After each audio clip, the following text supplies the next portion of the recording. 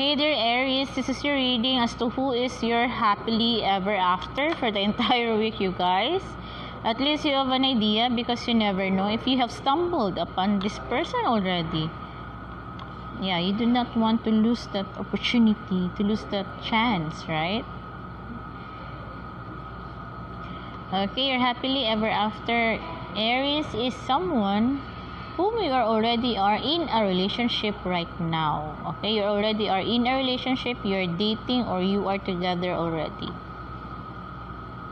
Or your happily ever after happens to be someone whom you have a very close soul to soul interaction or connection definitely a twin flame. Yeah twin flame. You're meant to be your half your other half aries okay? Another clue this person happens to be someone who has been toxic with you recently or this person is really emitting toxicity there's really a sense of toxicity or toxic energy coming from this person towards you and towards the connection Aries. I'm not sure if you're up for it though. Even though you guys are meant to be, and then this is the kind of energy this person is emitting, we are in for a big trouble. Because it will really create chaos. So please do take note. Okay, another clue this person happens to be someone who really wanted to settle down with you, to settle things with you, or to set whatever that is. All I can sense is the word settle.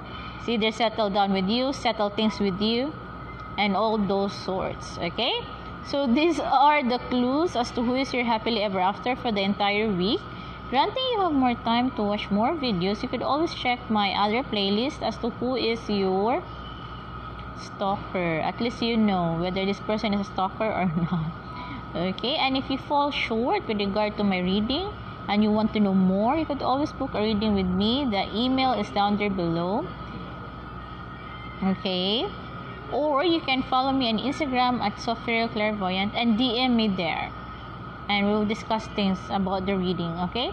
And if you have more friends who are interested about this kind of content, please refer them to me. Yeah, who knows? I'll be able to help them one way or the other. Okay, thank you so much for watching and let this year be a happy new year for all of us. Because thank God, thank you, universe, thank you, heavens. Every day is a happy day because we are all alive.